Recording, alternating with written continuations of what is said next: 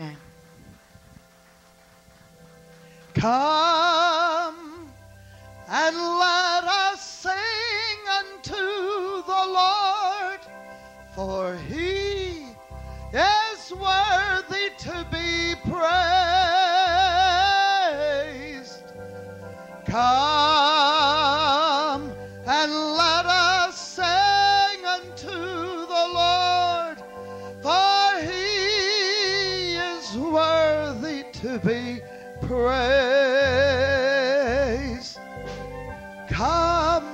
with me and let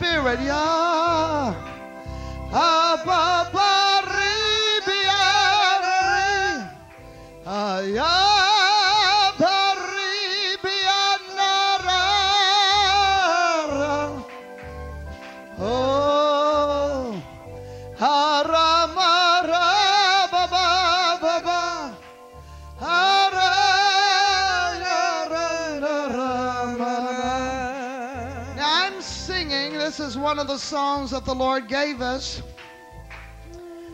But we have noticed many times in Jerusalem that heaven's rhythm is almost like a waltzing rhythm.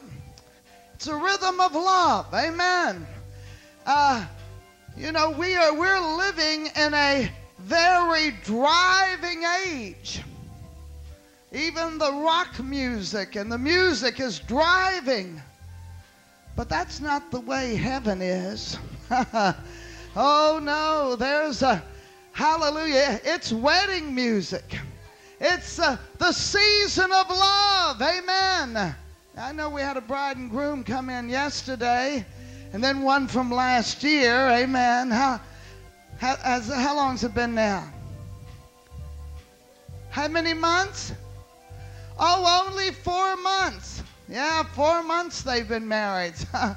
Amen. We got some newlyweds among us. One day and four months. Oh, hallelujah. Praise the Lord. But God wants all of us to stand in His presence as the bride of Christ. Amen. Oh, with that wedding, that is spousal love. Amen. That uh, that uh, uh, carefreeness in our spirit, that everything's just uh, sort of wine and roses. Amen. The wine of the Spirit, uh, the garden of the Lord. Hallelujah. God doesn't want you to have a care in the world. You said, Well, I want to hold on to him until somebody prays for me. Forget about it. Amen. Let it just go. You said, Well, if I don't hold on to it, nobody will pray and I won't. Yes, if you'll let it go, that'll show you, show God you've got faith that He's working. While you're praising, while you're worshiping, while you're adoring, He's working. Oh, hallelujah. Hallelujah. He doesn't want you in His presence full of care and anxiety and fear and worries. Amen. Let God handle it for you. You just come in singing and praising. Oh, come and let us sing unto the Lord, for He is worthy of our praise. Come and let us sing unto the Lord, for he is worthy of our praise. Come and let us dance before the Lord, for he is worthy of our praise. Come and let us dance before the Lord, for he praise.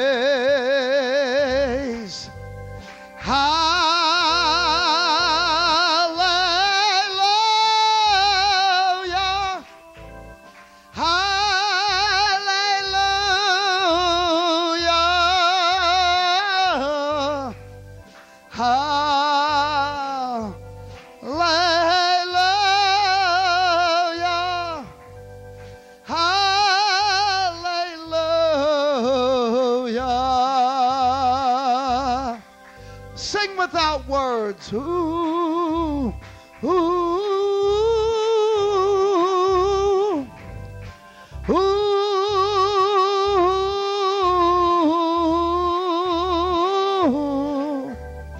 ooh.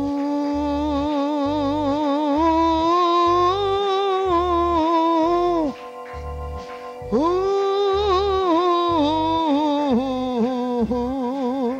Sing in the spirit with me. Ah,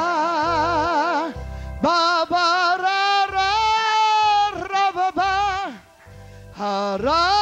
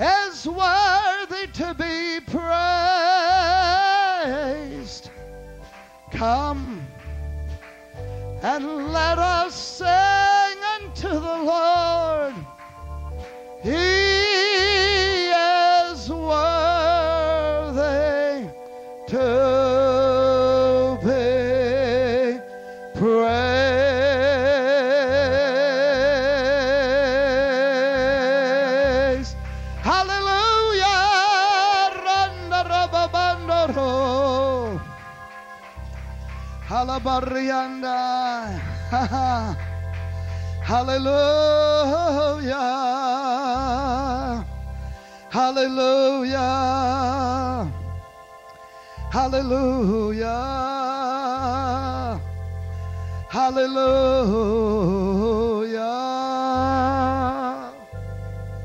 Praise the Lord. I love you, Lord.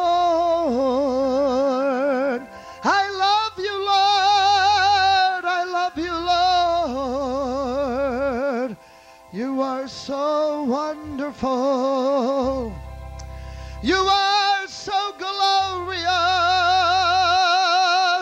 I love you,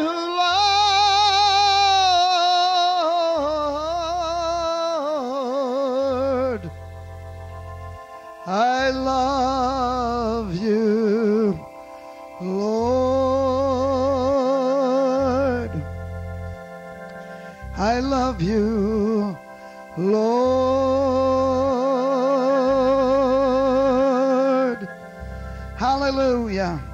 Praise the Lord. You may be seated. Hallelujah. Hallelujah.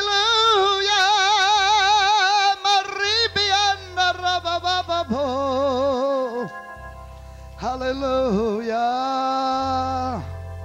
And know that the courts of the Lord, the courts of the Lord were made for praise.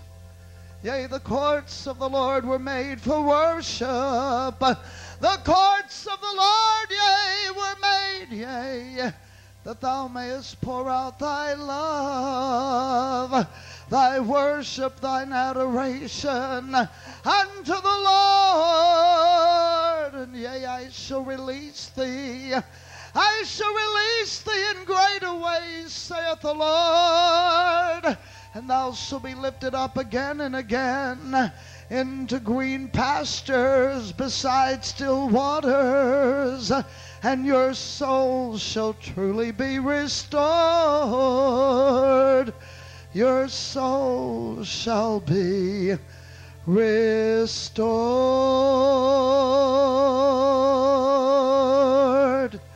Hallelujah.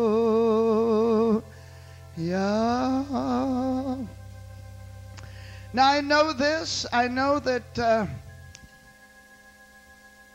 the life that we live in this day is is a, a life of often the the howling desert and the fiery furnace. But God wants us to learn how, in the midst of the world, to know only the green pastures and the still waters. Hallelujah. You say, when you're in a howling desert, then where are the green pastures and the still waters?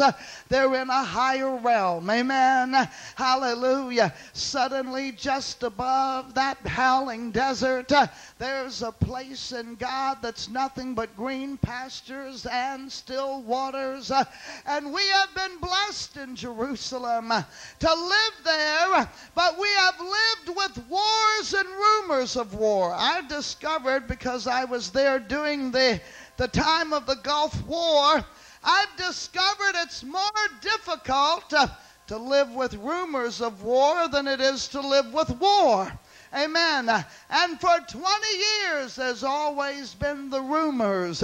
Amen. The possibility that war could come. And we've lived with those pressures, but uh, we have known every day how to come into the house of the Lord and find that oasis in God. Hallelujah. Jericho is an oasis right there in the desert.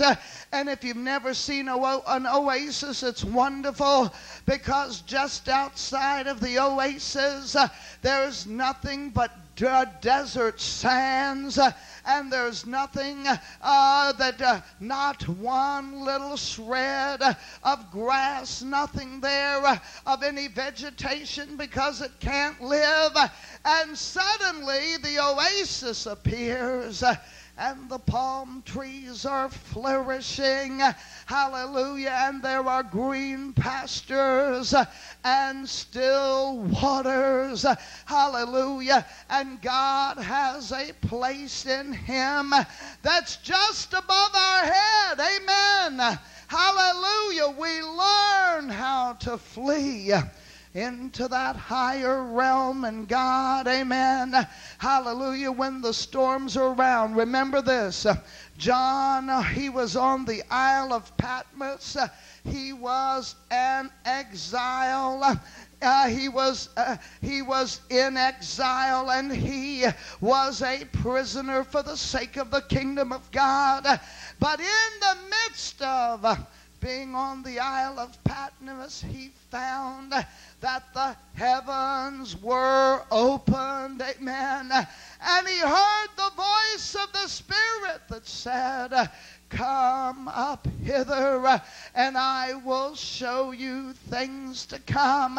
And in the midst of that place that was like, uh, even today, the Isle of Patmos is not uh, a metropolis. I mean, if you get to the Isle of Patmos, you've got to think about staying there a few days because transportation rarely comes. Uh, amen. It's not. Uh, it's not a big tourist uh, place other than Christians want to see where Paul uh, was lifted up into Revelation. In the natural, it's not a place to be desired, but he found out uh, that above his head was a place of standing. Uh, the green pastures, the still waters of the Lord, uh, that place in the heavens in which he could be lifted up uh, to the very throne of God. Oh, Hakarabashandai.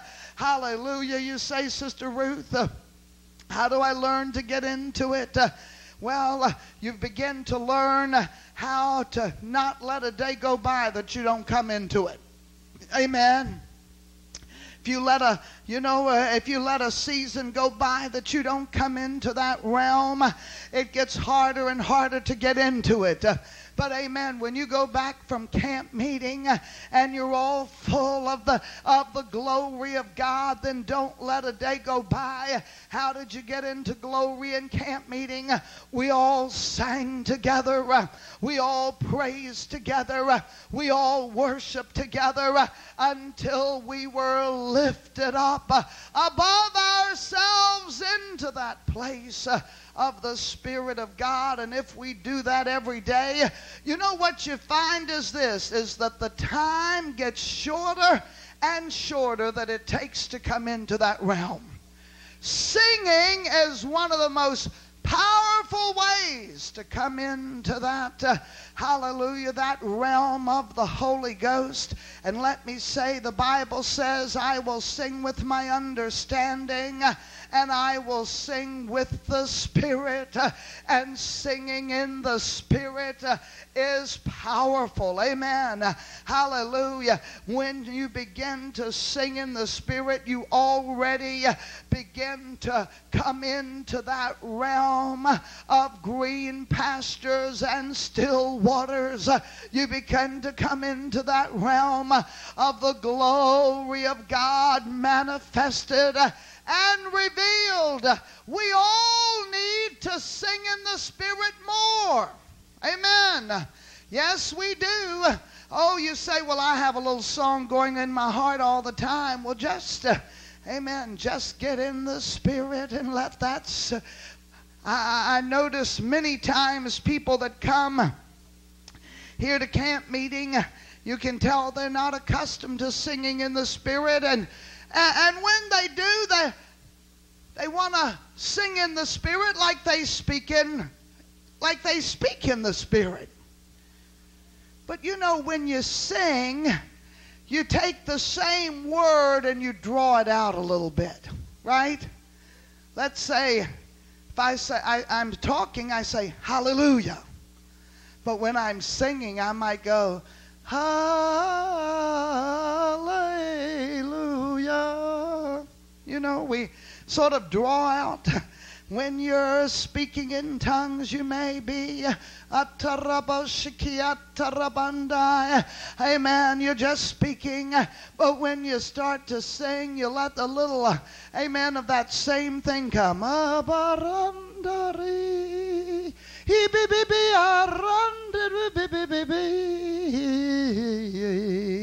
And you just let it roll like rolling over hill and dale, up the hill and down into the valley. Amen. Just traveling in the kingdom of God, singing in the Spirit, being carried from uh, one place to another in the kingdom of God. Now we want, we want to be a people of revelation. The only way you're going to be a people of revelation is to come into that realm. Revelation does not occur in the realm of praise, it occurs in the realm of glory. Oh, hallelujah, hallelujah. In that realm of glory, suddenly the spirit of revelation is working in us and working, hallelujah, through us. And we begin to see as He sees, we begin to hear as He hears, wants us to hear. We begin to uh, understand and perceive those things of the Spirit. Hallelujah. Sometimes, uh, you know, when that glory comes, all you need to do is just sit and sing in the Spirit. Hallelujah. And go from glory to glory to glory. You say, well, that's not the way I've been coming into the things of God. Well, it's about time that you uh, listen to some people that have some other experience. Amen? Amen. I meet people that in order for them to be spiritual, it takes them hours every morning. They've got this they read and that they read and this uh, this particular devotional book and someone else and they've got this system and that. Uh, but I'm glad I can wake up uh, on my bed in the morning and have the song of the Lord already in my spirit uh, and already lifted into realms of glory. By the time, you know, some people go through such a, a program in the morning, they've heard this preacher tell it how to do it this way and someone else that, and they put them all together and I told one brother, uh, that, you know, they start putting on the whole armor of God. And the, I said, well, by the time I did everything you do, I'd be worn out. I'd need to go back to bed. If we go to bed with the armor on, then we should wake up with the armor on. we only need to check the armor when we've laid it aside, amen, through our acts uh, or through our unbelief. Uh, but oh, hallelujah, if I go to bed in the Spirit, uh, can't I believe that I can wake up in the Spirit? You see, I always wake up on the wrong side of the bed. Well, stop doing it. Amen. You just go to bed at night and say, I'm going to wake up on the right side of the bed. Hallelujah. I'm going to wake up in the glory. I'm going to wake up with the touch of God. I'm going to wake up in the Spirit of the Lord. Hallelujah. Hallelujah. You say, Sister Ruth, we came because we wanted to hear a deep truth. Well, I tell you this if you learn how to sing, you know, those angels, they don't do much more. And uh, they're the closest people to the throne I know. oh, hallelujah. What are, what are they doing in that realm of glory right next to the throne of God? They're singing and praising and worshiping you say, I want to do something productive. There's nothing more productive than singing in the Spirit of God. God spoke to me the other night in the service when Brother Heflin was just uh, leading that song, You Are Awesome in This Place.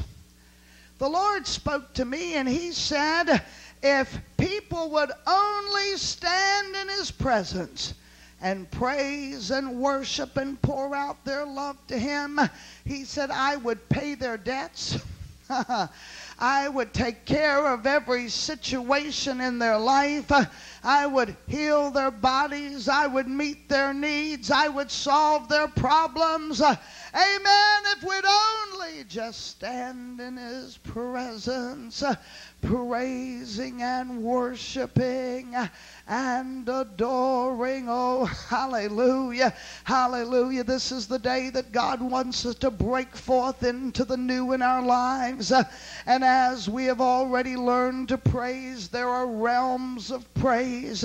Remember, before the throne, John saw the seven spirits of God.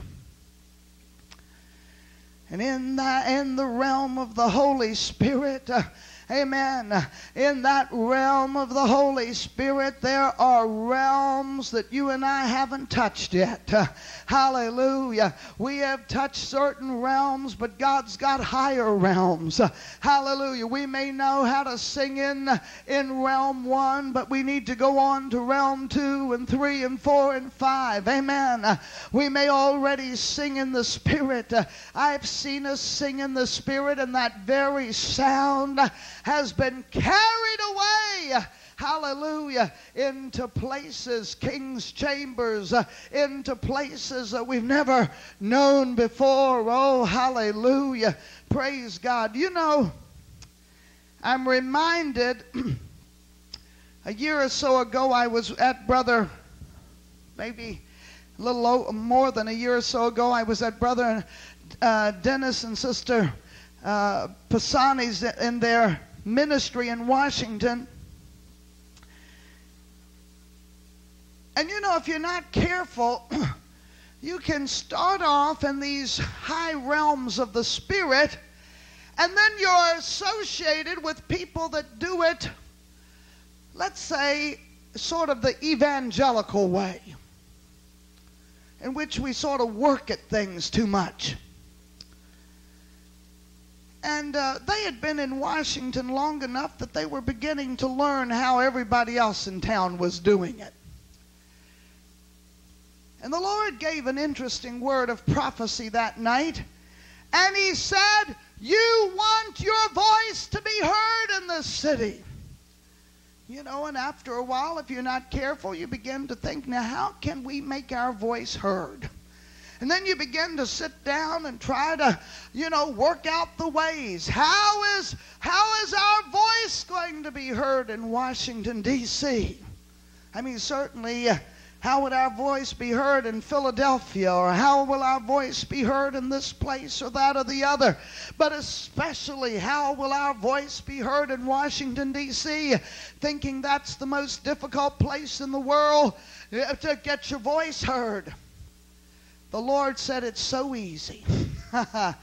he said, I called you to be a prophetic voice and only the prophetic voice will go through the barriers of walls. Uh, only the prophetic voice is going to go through. Uh, amen. That voice of the Spirit uh, is going to go through past the barriers of man, past the systems of man, past all of those things of man. You say, well, how do we get a message through? You know, in Washington, you immediately think, oh, my congressman and this congressman and that one. And no.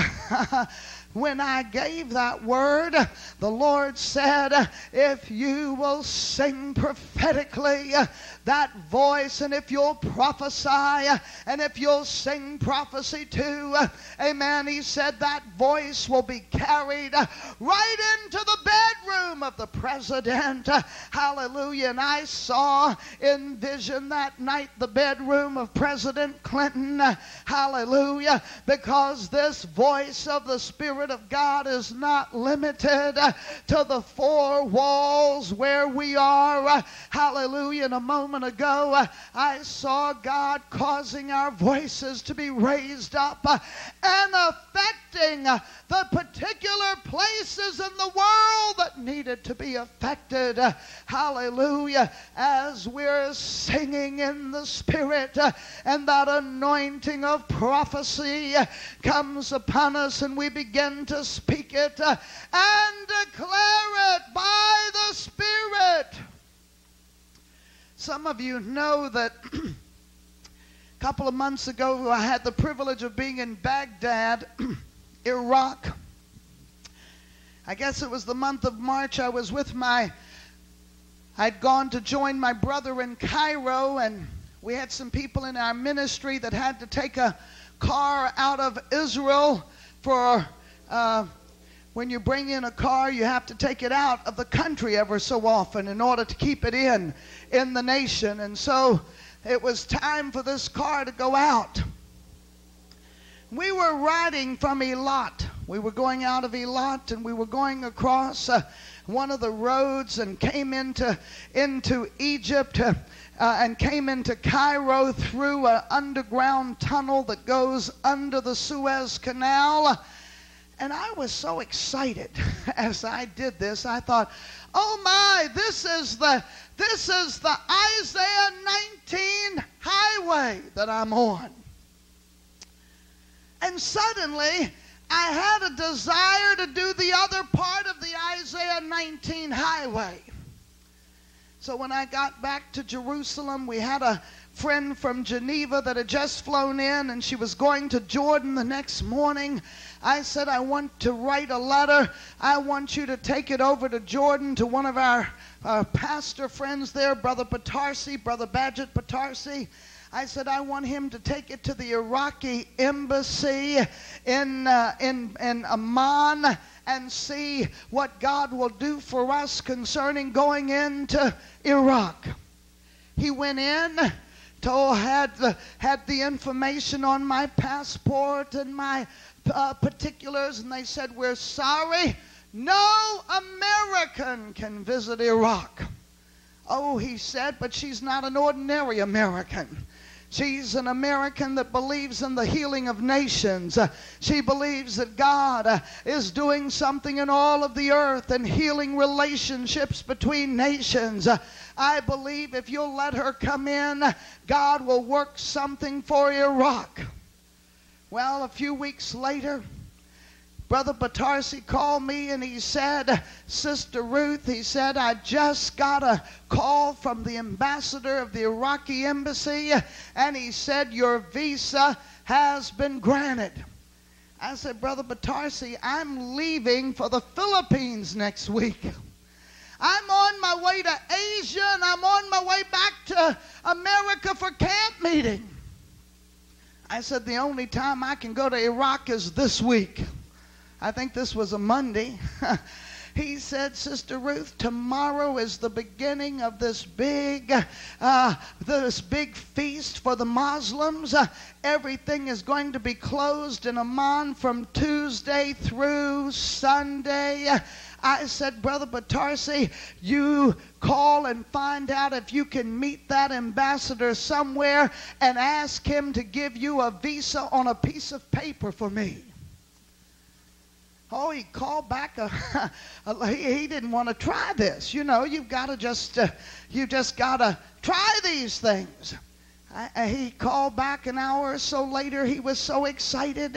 He said, I did what you said, and the ambassador is going to meet me tonight, and then tomorrow morning he's going to open the embassy just for you, and he's going to give your visa. Hallelujah. And he wrote a, special letter and he faxed it to the foreign office uh, in, Baghdad to expect us and gave us a special letter to go and we were we were going as as uh, diplomats into Baghdad, not only was God opening the door, uh, but God was doing it in such a way that we could hardly imagine what God was doing. I said to Brother Batarsi when he called me, I said, I'll get on a plane and I'll fly I'll fly because everything was closed for the holiday. This meant that the borders of Israel were closed. You couldn't get into, into Jordan. I said, I'll take a plane from Tel Aviv and I'll fly to Cairo and from Cairo to Amman. You meet me at the airport in Amman and we will go immediately, start driving up to Baghdad. I got into Amman after midnight, I don't remember, one or two in the morning about four in the morning, we got in the taxi and we started riding up that road.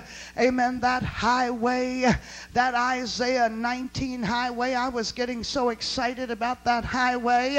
Amen. Do you realize we're living in the time of fulfillment? And there are things that God wants to do in the earth that we're not going to know to do them except by the revelation of the Holy Ghost. Uh, because man, even in his thinking, will always hold back uh, from the higher purposes of God.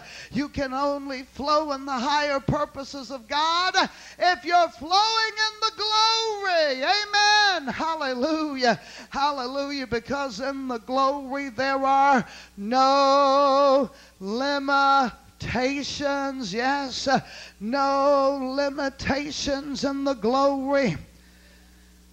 When we got to the border of Iraq, we went into a little, this is a special guest house for diplomats. When we went into the guest house, there was only one other person there other than the staff and that was the son of Tariq Aziz. Now, you folks all know who Tariq Aziz is uh, because he was the one, he was the foreign minister or the prime minister during the time of the Iraqi war, and he was the spokesperson. And every time you'd see him on television, uh, telling some story about whatever was happening, this, but here God has us meet Tariq Aziz's son right at the right at the, the guest house and I mean the, nobody there but just Tariq Aziz's son, Brother Batarsi, his wife and I, and we're all having tea together, amen, having a little rest, telling him why we have come, hallelujah, to be part of that healing of the nations. Hallelujah. What God is doing in the earth in these days. Praise the Lord. When we got to Iraq, uh, we were staying in the Al Rashid Hotel. This is the hotel that you folks saw on television. Remember, Peter Arnett was staying in that hotel. The reporter for CNN during the Iraqi war, he was up on top of the roof of that hotel and showing us the missiles uh, that were being shot uh, even during that time. They were filming from the top of that hotel, and here we were staying there as spirit filled people, believing for new realities. You know, sometimes if we're not careful, we can get so caught up in the old that we can't believe God for new realities to take place. Uh, oh, hallelujah, hallelujah. Well, we weren't quite sure what we were going to do and how we were going to do it. Uh, we had sung in the Spirit all the way up the, the highway. Uh, amen. You say, what does that highway look like? Six lane highway. Amen. Six lane highway, hardly any any traffic on the highway at all. Beautifully made. Brother Batarsi told me that it cost them one million Iraqi pounds. Now, in those days, the Iraqi money was very strong every kilometer, which is uh, uh, a little more than a half a mile, every kilometer cost a, a million Iraqi pounds. That's three million dollars to make.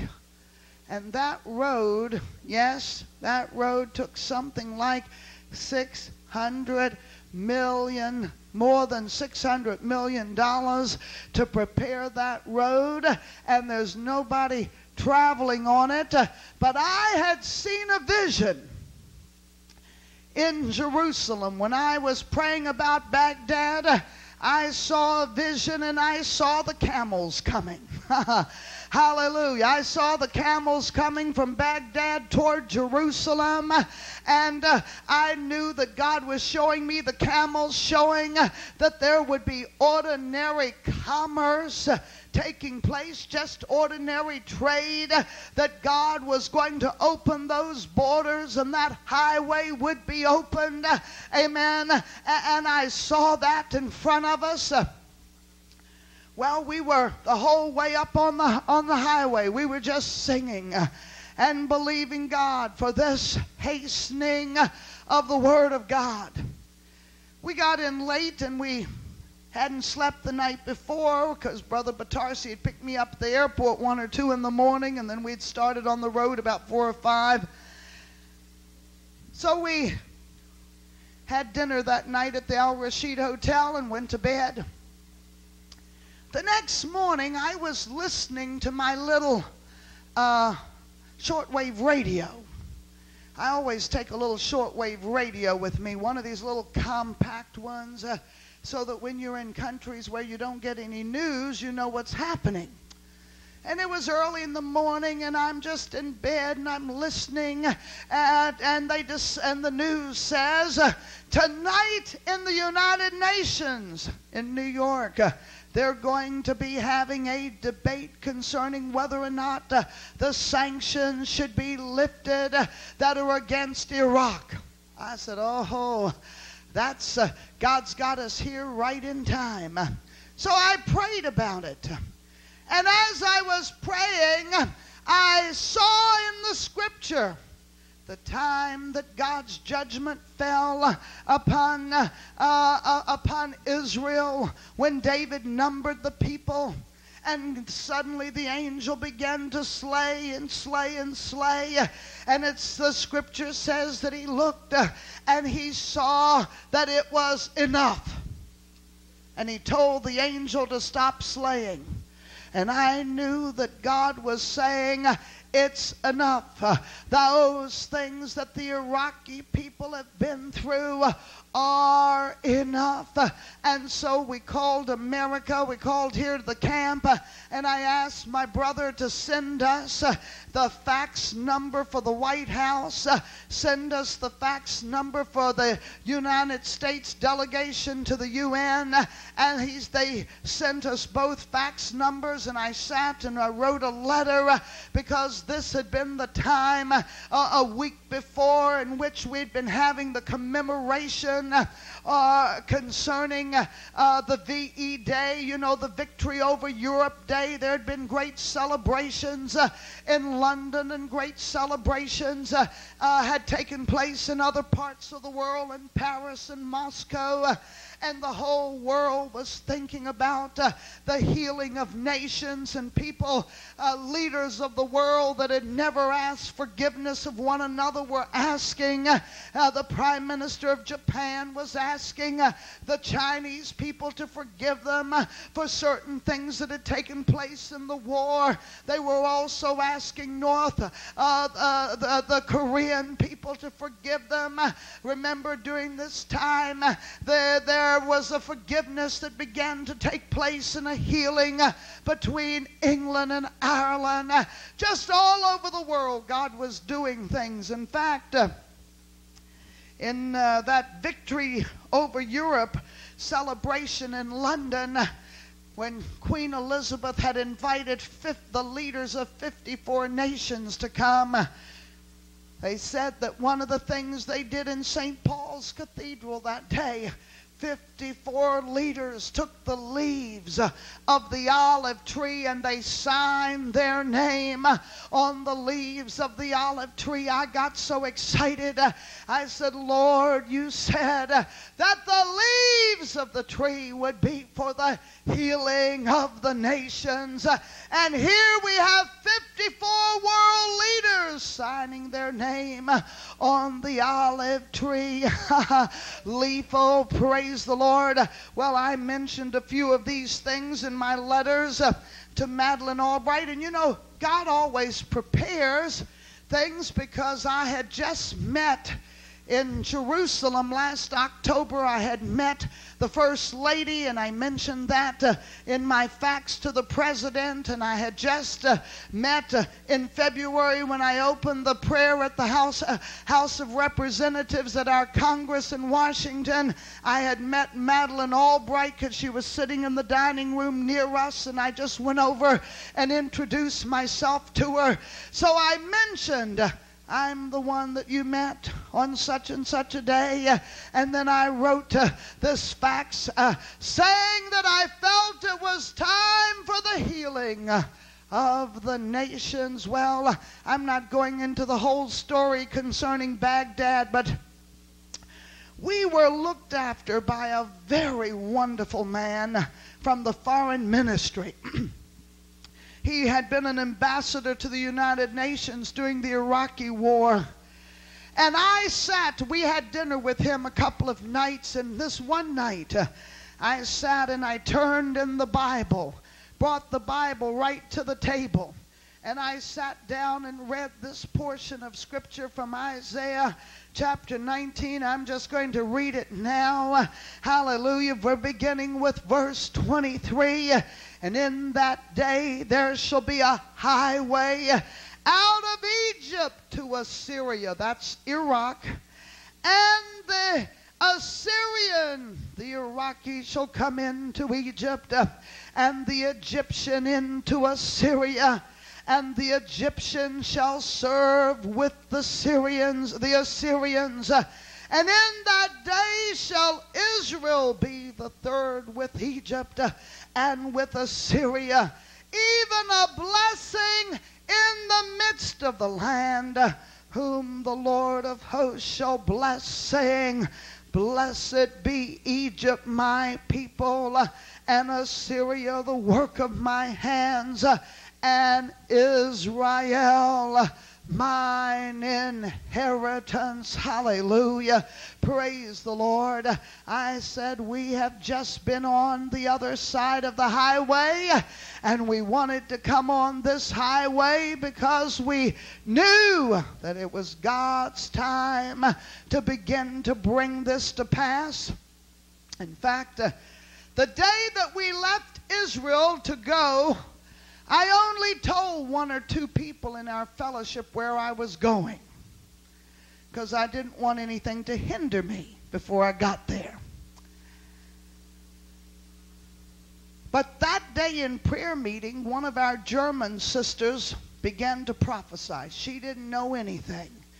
We were singing and praising and worshiping, and suddenly she began to prophesy and she said, The highway is ready. the highway is prepared. I said, Hallelujah, Lord. I know the highway's ready. I know it's prepared. I know you're moving us on unto those things for the coming of the Lord. Hallelujah. Praise the Lord.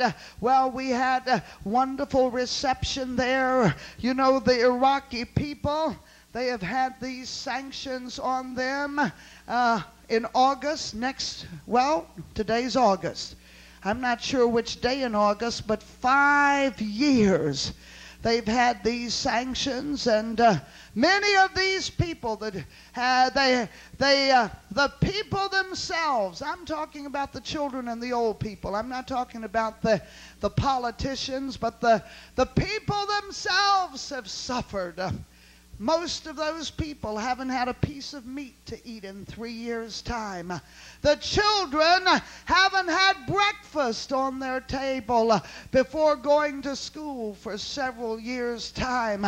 This is the majority of them. And you know, God looks down and He sees that the cup of suffering is full, and He is the one that releases people from the oppression of the enemy. Oh, hallelujah. Praise the Lord. We, we were interviewed on television. We got an interview on the newspaper. We met uh, lots of important people there. We preached in the Presbyterian church that was packed out, uh, and 150 raised their hands uh, to accept Jesus as their Savior. We also ministered in the Chaldean church. Uh, God began to open these opportunities uh, in Baghdad. Why is God bringing the healing of nations? Uh, he is bringing it uh, for the sake of the harvest. Amen. His concern is the harvest of the world, and we're going to see every nation open for a season for the sake of the gospel and the sake of the harvest of the world. Hallelujah, hallelujah. When I got back to Israel, I called Foreign Minister Shimon Peres. I called his office and spoke to his chief of staff, Mr. Avi Gil. And of course, it was interesting because the day I got back to Israel, there was a big article concerning Israel and Iraq on the front page of the newspaper. First time Israel and Iraq had been mentioned together, and in a positive way. And then the next day, there was an article in the editorial section concerning Israel and Iraq. When I spoke to Mr. Avi Gil, he of course had to say, well, the nation of Israel is not interested in any relationship with Iraq. I didn't listen to what he said because I was hearing what the Holy Ghost was saying.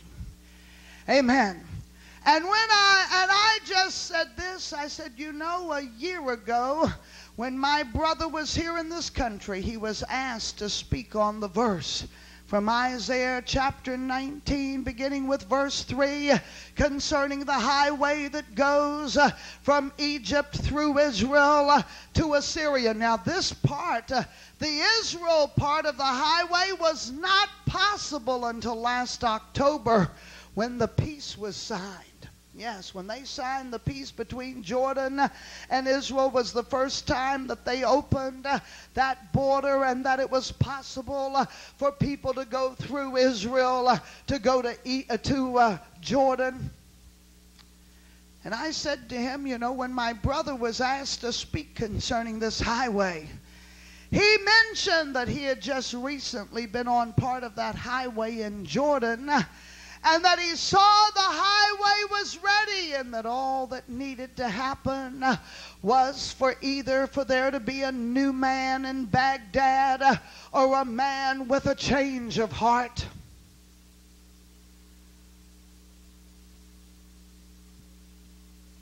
And I said to him, I believe God is changing Saddam Hussein's heart. Hallelujah. Hallelujah. I, I just want to say the pharaohs of the earth are not too great for our God. Amen.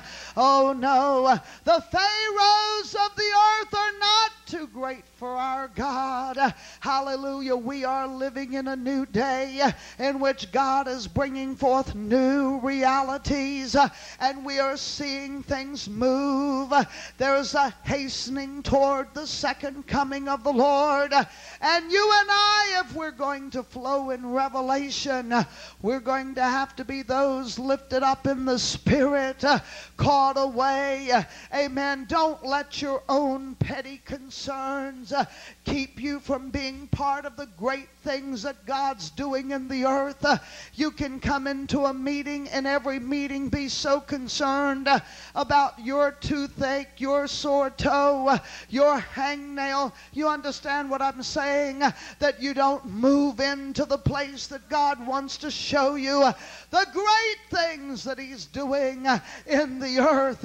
Is God concerned about your toothache? Yes. Is He concerned about your sore toe? Yes.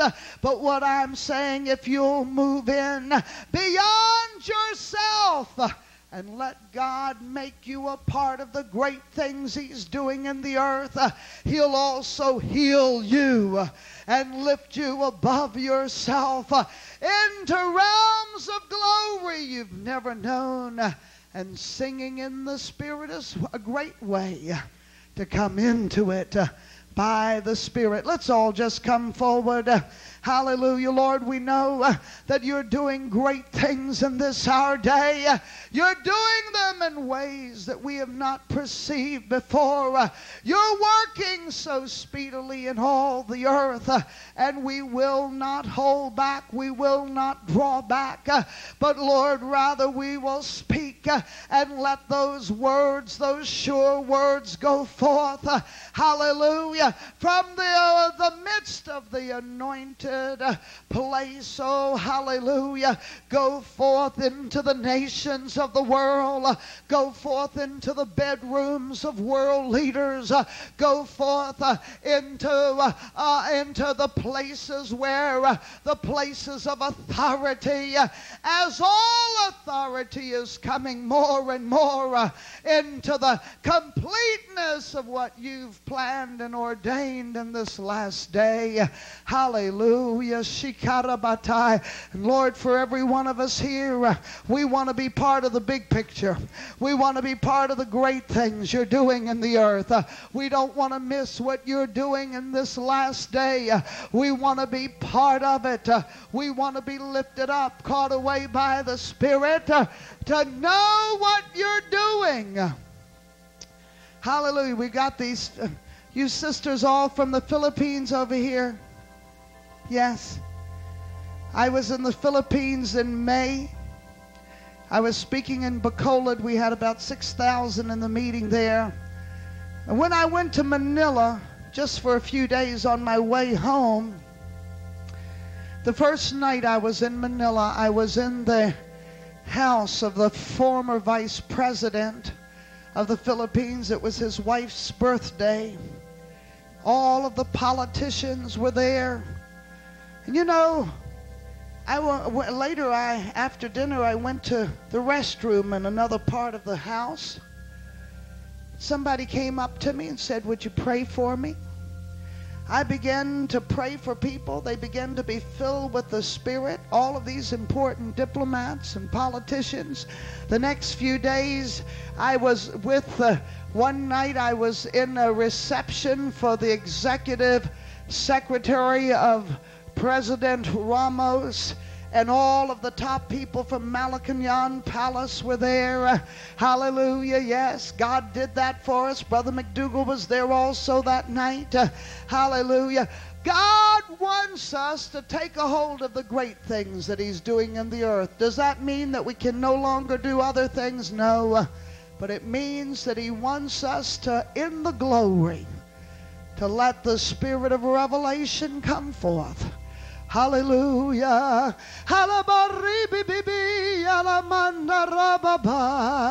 Just lift up your voices and sing in the Spirit. Lift up your voices and sing unto the Lord. Lift up your voices and sing unto the Lord. Lift up your voices and sing in the Spirit.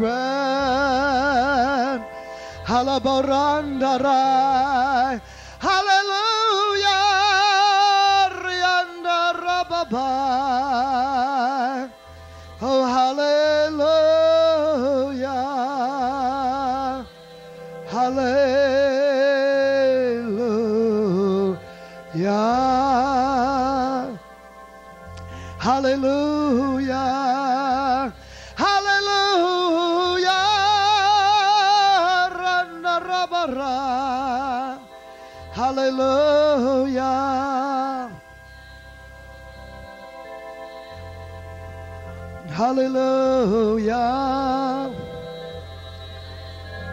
Oh.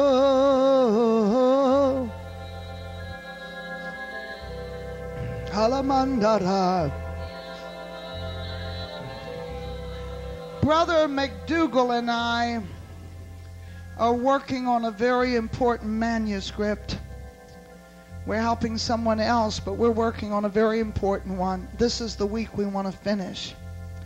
And I just want everybody to just sing in the glory and release your faith that God will make it easy, that everything that needs to be adjusted, changed, that God, that we'll just have the wisdom of God. Amen. And that anointing will be on all that we're doing. Hallelujah. For the Lord's honor and glory. Amen. Oh, hallelujah. Hallelujah.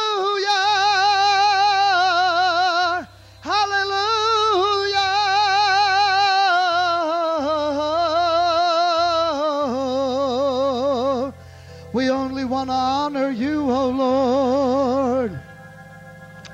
We want to honor you. We want to honor you, O Lord. We want to honor you.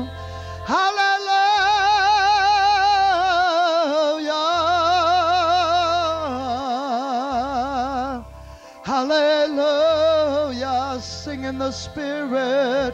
Let your voice be lifted up. Hallelujah.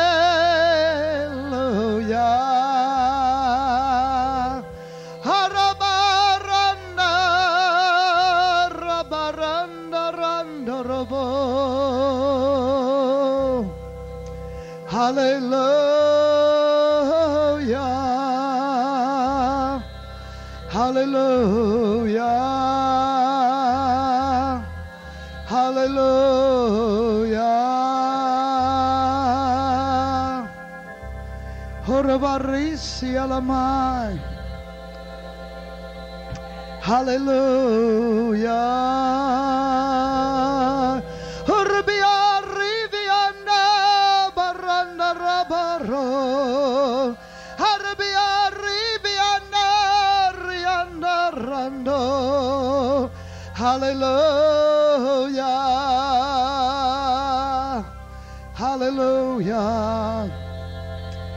Me a C. We're going to release our faith for Iraq. I ask for Iraq. I call her by name. I present her to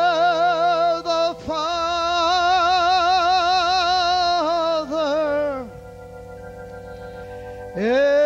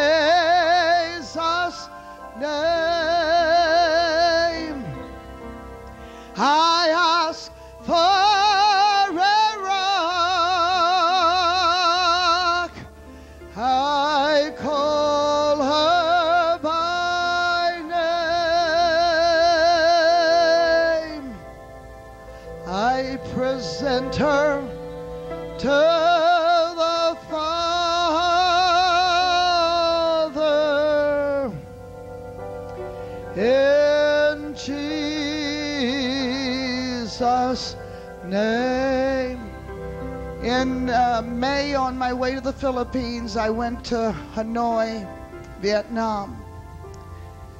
And it was only a few weeks later that America made diplomatic relations with Vietnam. I also was in Peking wanting to go into North Korea. And uh, several days I was with, uh, praying for a number of diplomats up in Peking, ambassadors' wives and children to be filled with the Spirit. But I, uh, I went to the North Korean embassy several days. You know, when you're on the embassy, you are technically on that country's soil. And uh, when they took a little while to serve me, I wasn't worried because I just had more time to pray. You know how usually we want to be served in five minutes and go, but I just sat there and prayed God's purposes into North Korea. And it was at the time that America was having special conference with North Korea in Malaysia concerning the nuclear proliferation. And the day that I left uh, Beijing and as I flew into uh, South Korea, I saw the newspaper saying that that agreement had just come through which was a great thing. I, I, didn't have time to wait in Beijing. I was on my way to America for camp meeting. But um, God's going to open that door to North Korea. I want us, let's just sing I Ask for North Korea. Because these are the days. I, I remember how Sister Che used to pray for North Korea. She was from North Korea. And, um, uh, you know, when the war came, she found herself down in, in the South. But she used to pray and intercede for the north, that northern part.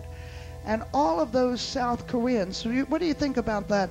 Uh, more, more than 500,000 now in Dr. Cho's church. I don't know. He's moving toward, yeah, seven or 800,000. He's moving toward a million. I know that. Well, they're all going to be missionaries as soon as they lift that line. You know, all they have to do is go and visit their relatives. That's right. They've all got relatives.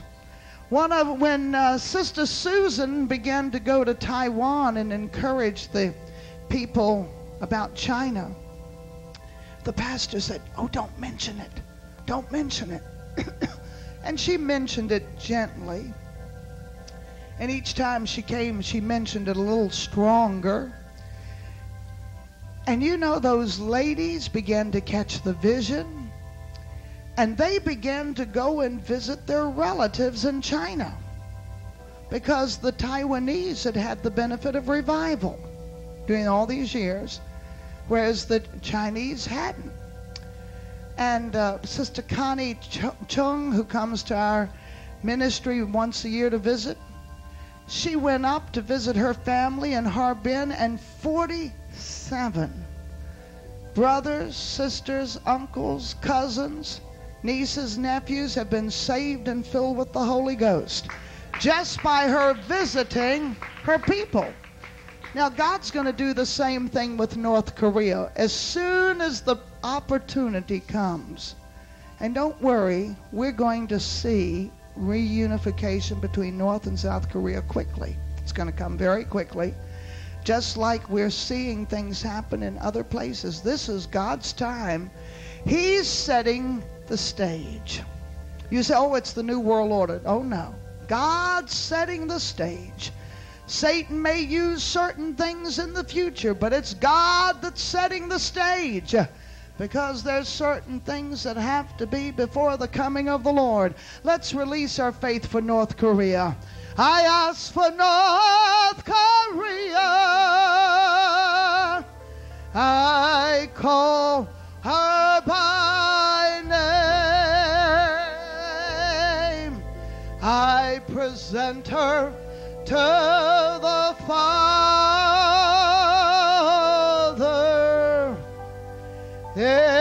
Jesus'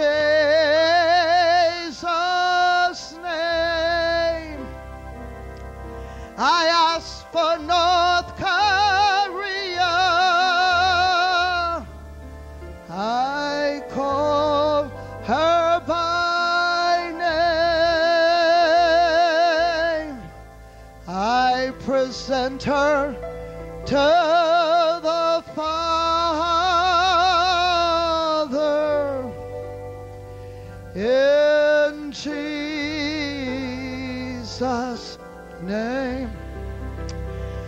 do you think the South Korean president has just been here? To make them happy before that healing comes between the North. Amen. Make them happy. Let's ask for Vietnam. I ask for Vietnam.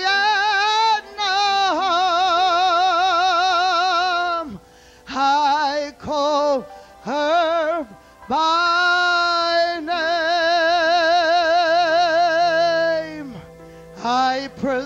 her to the Father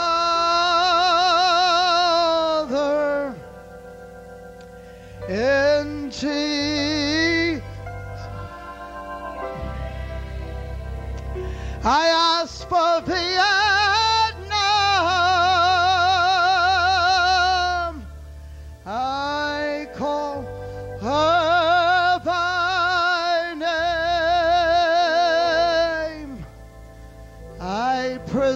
Her to